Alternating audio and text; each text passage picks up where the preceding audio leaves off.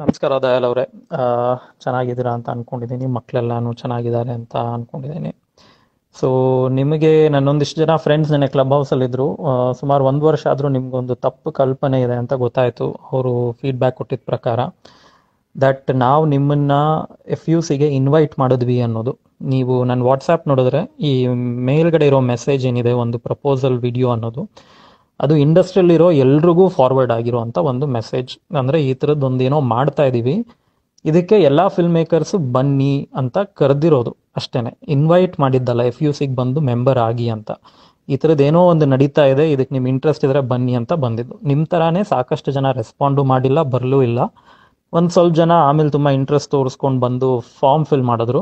ಆ form fill ಮಾಡ್ಬೇಕಂದ್ರೆ ಅದು ನಿಮ್ಮ ಇಮೇಲಲ್ಲಿ ಇರುತ್ತೆ ಯಾಕಂದ್ರೆ ನಾವು ಅದು ತುಂಬಾ ಡೀಟೇಲ್ಡ್ ಆಗಿ ಮಾಡಿದಂಥ ಫಾರ್ಮ್ ಅದರಲ್ಲಿ ಸೆಲೆಕ್ಷನ್ ಪ್ರಾಸೆಸ್ ಇರುತ್ತೆ ಅಂತೆಲ್ಲಾನು ಅದಕ್ಕೆ ನೀವು ಎಸ್ ಎಸ್ ಎಸ್ ಅಂತ ಒಪ್ಕೊಂಡಿರ್ತೀರ. ಅದರದ್ದು ಒಂದು ಕಾಪಿ ನಿಮ್ಮ ಇನ್ಬಾಕ್ಸಲ್ಲೂ ಇರುತ್ತೆ. ಸೊ ನಾವೊಂದು ಎಲ್ಲರಿಗೂ ಡೆಮಾಕ್ರೆಟಿಕ್ ಆಗಿರುವಂಥ ಒಂದು ಪ್ರಾಸೆಸ್ನ ಸೆಟ್ ಮಾಡಿದ್ವಿ. ಫಸ್ಟ್ ನಾನು ಬಂದಿರ್ತೀನಿ. ನಾನು ಬಂದು ಐ ಥಿಂಕ್ ಆದರ್ಶನ ಇನ್ವೈಟ್ ಮಾಡಿದೆ. ನಾನು ಆದರ್ಶ್ ಸೇರಿಕೊಂಡು ಜಯತೀರ್ಥನ ಇನ್ವೈಟ್ ಮಾಡ್ತೀವಿ. ಆಮೇಲೆ ಚೈತನ್ಯ ಬಂದಾಗ ನಾವು ಮೂರು ಜನ ವೋಟ್ ಮಾಡ್ತೀವಿ, ಜಯತೀರ್ಥ ಬರ್ತಾರೋ ಇಲ್ವೋ ಅಂತ ಐ ಮೀನ್ ಚೈತನ್ಯ ಬರ್ತಾರೋ ಇಲ್ವೋ ಅಂತ. ಸೊ ಹಾಗೆ ಒಂದು ಡೆಮೋಕ್ರೆಟಿಕ್ ಪ್ರಾಸೆಸ್ ಇತ್ತು. ಯಾಕಂದ್ರೆ ಇಲ್ದಿದ್ರೆ ತುಂಬಾ ಜನ ಸಿನಿಮಾ ಮಾಡ್, ಮಾಡೋರು ಅಂತ ಅನ್ಕೊಂಡಿರ್ತಾರೆ, ಅವರೆಲ್ಲ ಅಪ್ಲೈ ಮಾಡ್ತಾರೆ, ಮತ್ತೆ ಸೇಮ್ ಅದೇ ಆಗ್ಬಿಡತ್ತೆ. ಒಂದು ಕ್ವಾಲಿಟಿ ಮೇಂಟೈನ್ ಮಾಡಬೇಕು ಅಂದ್ಬಿಟ್ಟು. ಯಾರೋ ಒಬ್ರು ಡಿಸೈಡ್ ಮಾಡೋದಲ್ಲ ಇದು. ಎಲ್ಲರೂ ಅಪ್ಲೈ ಮಾಡ್ತಾರೆ. ಯಾರು ಆಲ್ರೆಡಿ ಒಳಗಿದ್ದಾರೆ ಅವರೆಲ್ಲ ವೋಟಿಂಗ್ ಇರುತ್ತೆ ಎಸ್ ಅಂಡ್ ನೋ ಅಂತ.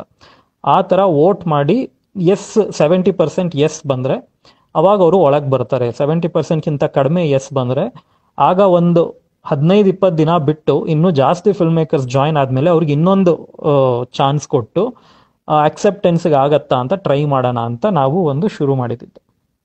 ಸೊ ನಿಮ್ಮ ಹೆಸರು ಬಂದಾಗ ಅದು ಯಾಕಂದರೆ ಒಂದು ಗೂಗಲ್ ಎಕ್ಸೆಲ್ ಶೀಟಲ್ಲಿ ನೀವೇನು ಫಿಲ್ ಮಾಡಿದ್ರಿ, ಅದರಲ್ಲಿ ತುಂಬ ಜನ ಅಪ್ಲೈ ಮಾಡಿದ್ರು. ಅಫ್ಕೋರ್ಸ್ ಯಾರ್ಯಾರು ಶಾರ್ಟ್ ಫಿಲ್ಮ್ ಮಾಡಿರ್ತಾರೆ, ಎಲ್ರಿಗೂ ಒಂದು ಆಸೆ ಇರುತ್ತೆ.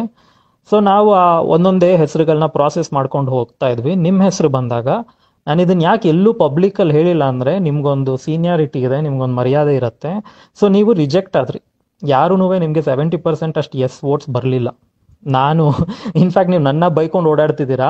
ಆ ಯಾವ್ದು ನಿಮಗೆ ಎಸ್ ವೋಟ್ ಬಂದಿತ್ತಲ್ಲ, ಅದು ನಂದೇ ವೋಟ್ ಆಗಿತ್ತು. ನಾನೇ ಎಸ್ ಅಂತ ಅಂದಿದ್ದೆ. ನಿಮಗೆ ಯಾಕೆ ಕಡಿಮೆ ಬಂದಾಗ ನಾವು ಇಂಟರ್ನಲ್ಲಿ ಒಂದ್ಸತಿ ಮಾತಾಡ್ಕೊಂಡ್ವಿ ಕೂಡ, ನಾನು, ಭಟ್ರು, ಎಲ್ಲ ಇದು ಹೆಂಗೆ, ದಯಾಲ್ ಅವರು ಹೆಂಗಾದ್ರೂ ಇರಲಿ ಮನುಷ್ಯ ಬಟ್ ಎಕ್ಸ್ಪೀರಿಯನ್ಸ್ ಇದೆ, ಅವ್ರು ಇಂಥ ಕ್ಲಬ್ಬಲ್ಲಿ ಬೇಕಾಗ್ತಾರೆ ಅಂತೆಲ್ಲ ಮಾತಾಡ್ಕೊಂಡು, ಅದಾದ್ಮೇಲೆ ಒಂದು ಸಣ್ಣದು ಡಿಸ್ಕಷನ್ ಬೇರೆ ಆಯ್ತು ನಮ್ಮ ಗ್ರೂಪ್ಸ್ ಅಲ್ಲಿ. ಏನು ಅಂದ್ರೆ ಈ ತರ ನಾವು ವೈಯಕ್ತಿಕ ಇಶ್ಯೂಸ್ ಏನಾದ್ರು ಇದ್ರೆ ಅದನ್ನ ಬಿಟ್ಟು ಒಬ್ಬ ಫಿಲ್ಮ್ ಮೇಕರ್ಗೆ ಅಂತ ನಾನು ಅದನ್ನ ಫ್ರಂಟ್ ಅಲ್ಲಿ ನಿಂತ್ಕೊಂಡು ಮಾತಾಡಿ ನೆಕ್ಸ್ಟ್ ರೌಂಡ್ ಬಂದಾಗಾದ್ರೂ ಬರ್ಲಿ ಅಂತ ಅಲ್ಲಿಗೆ ಬಿಟ್ಟಿದ್ವಿ. ಅಷ್ಟೊತ್ತಿಗೆ ನೆಕ್ಸ್ಟ್ ಡೇ ನೀವು ಸೋಷಿಯಲ್ ಮೀಡಿಯಾಲೆಲ್ಲ ಏನೇನ್ ಮಾಡಬೇಕು ಅದನ್ನೆಲ್ಲ ಮಾಡಿದ್ರಿ.